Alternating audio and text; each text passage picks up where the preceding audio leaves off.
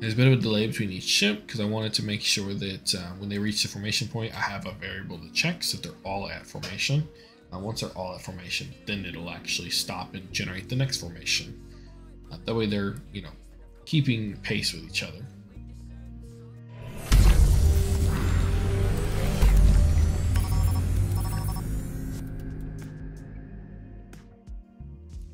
Hey guys, Space Marine 658 here. Today we're going to be talking about how to create 3D formations. Um, specifically, this is in a space game, but this could work for any kind of game where you need um, a 3D formation. You can also technically use this for 2D formations.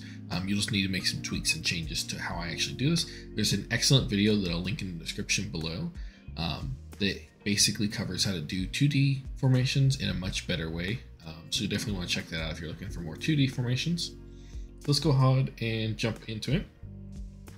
So what I've done is I've created this um, data asset here that I've called formation data asset. And this is a very simple um, little bundle of code here. Uh, basically, it, it draws from the primary data asset. And this allows you to load and unload assets from the data manager. So inside of here, inside of our um, project settings here, we have our here. So we have our game manager asset manager and basically I've just grabbed this primary asset type of formation data and set it the base class of the formation data asset. And then I've linked it to the actual folder where I store that data. And so that is actually um, this here this data asset specifically. And this is just derived from this C++ class and so what is the C++ class doing? Basically, it's doing a couple things. First, we're storing the data type. So this is basically just the formation data. Um, and then this can be, you know, there's a lot of different types of data you can store here. This is just what I'm using here for this primary asset type. And then we're overriding a virtual function called get primary asset ID, where instead of um, the default way that where it returns um, the asset ID, we're actually instead of returning the data type and the FName, um, as part of that asset ID. And then um, inside of here, we are basically, we've got an enum that I've, I've referenced here inside of this class. And then it's just this enum here that just has the different formations this data asset can have. And so this is just saying this particular asset, what, what enum does it have? And I've, I've set that up. I'll show you in, in the blueprints. And then we have a display name. So this is just a display name. Um, and then in here, we have a generate formation function.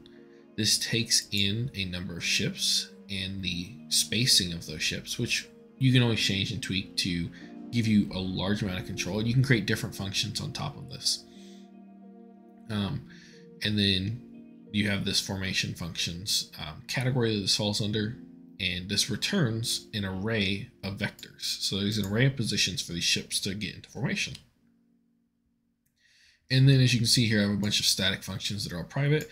These are just the specific functions. I could always make these public, but I like to have them all fall under the one, and then I just change it based on the enum. So let's go ahead and take a look at that.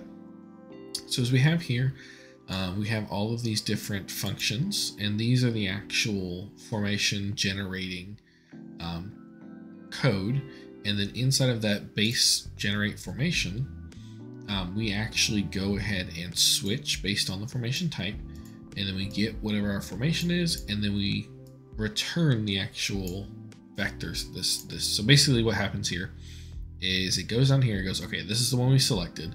It goes return this, so then it's going to run this function. So it's going to pass in the number of ships and the spacing, it's going to come up here. So this is the sphere one. So it's going to come up to the sphere one. And so it's going to pass these in. It's going to generate those formation points, as you can see here. And then it returns those, which then get returned here, and then it breaks.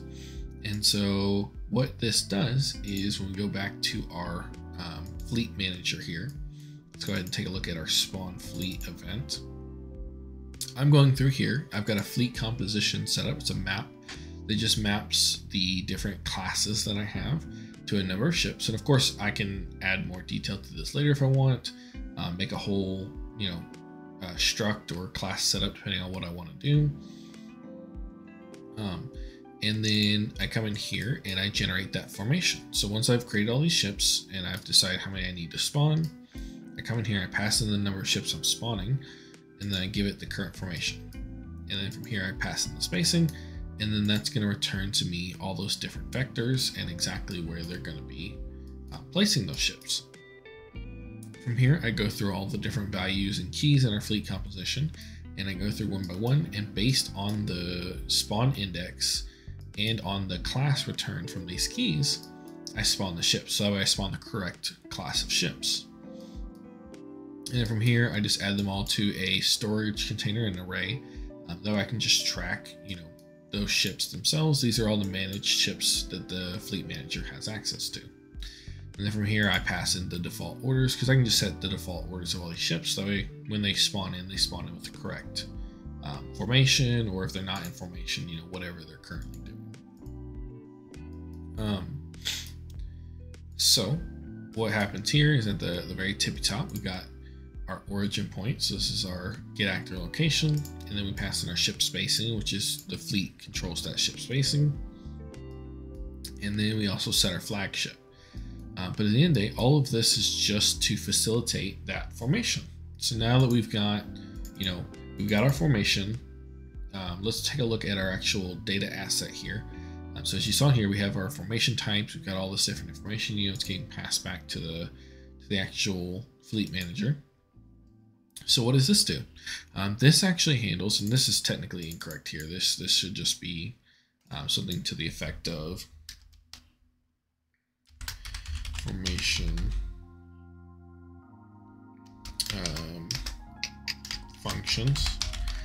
Um, but essentially what this data asset does is it stores uh, those different formation types based on that formation data. So up here you can see these are the different formation um, bits that you have. So, so you know, this is actual formation data, and then this is map and primary asset label. Those are other data assets, uh, primary data assets that have been created. Uh, these are just editor ones that are created by default. This is the one that we actually created there. And then in here, it has some settings. So formation type, the wall, point, sphere, cone, V, virus, blob. And then this is the, the one that you can actually change. So within the fleet manager here, um, this current formation is getting that value, the wall or whatever. And so that's why it's generating based off of that enum. Um, but if we go in here, for example, you know, we can actually change um, those orders. So here, for example, I have a button. This is a button that gets displayed inside of the actual screen here. So right here, it says update orders so that at runtime, I can change the orders, hit update orders, and it sends out an update to that fleet manager and updates all the ships. So this just loops through all the managed ships and changes those orders so that they have something different. Um, yeah, so that handles the formation and, and basically this is your biggest thing right here is going to be these different functions. Depending on how you set these up is how you're going to get your different points. Um, the cool thing with this is it gives you a large amount of control because um, let's say instead of passing in the number of ships, um, you instead pass in the actual ship classes. Um, from there, you could create your formation based on ship classes or however you want to set it up. Here I've done a very simple thing where I'm just doing it on the number of ships and spacing. Um, this is mostly meant to be a formation generator for when they first spawn in. Um, the plan is um, once I've got them spawned in, I want to start controlling the formation based off of a different function. So instead of handling it with generate formation, I can then use a different function um, to actually handle how the formation is created. Um, now that I'll have access to the actual fleet classes. All right, um, and now let's actually show it working in game. Um, so let me go and show off the actual formation generation. So when the, the ships are created and then watch them move in formation as well.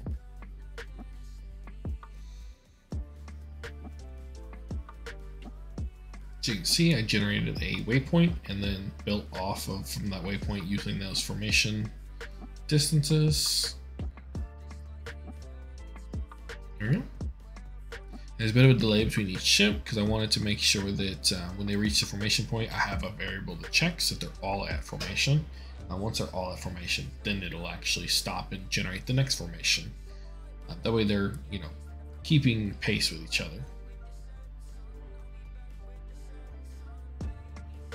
There we go, formation stopped. And there we go, generated the next point. They're all rotating to it based on the delay. They'll start heading that way. Simple as that. Um, but yeah, so that is everything for it today. Just very simple walkthrough of how I generate those those formation points and I set those up. Um, if you have any questions, definitely let me know down below. But otherwise, good luck and good hunting.